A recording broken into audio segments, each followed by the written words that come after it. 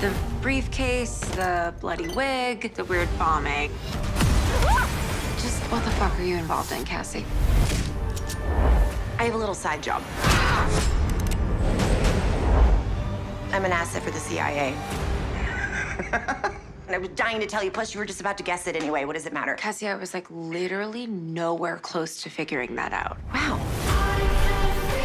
Someone is impersonating me. They are doing very bad things. They stole my identity.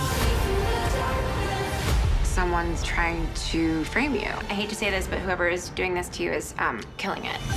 I have been on the run for a year. I haven't heard from my mom. Tonight she Snapchatted me this insane message. Megan Briscoe used Snapchat. Okay, that really can't be good. So for fuck's sake, we're going to Iceland.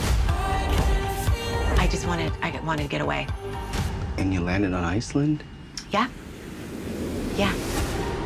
There was a new flight attendant. Her name was Grace. I don't know. There's something. Uh, hi. Yeah. Hey.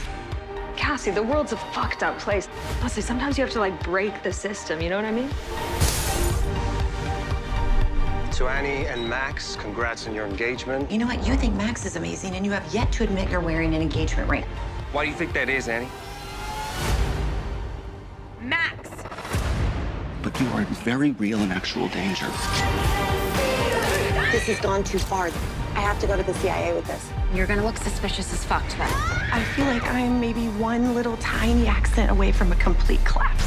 This is dangerous, dangerous. Worry about it. This whole sobriety thing, it's never not hard.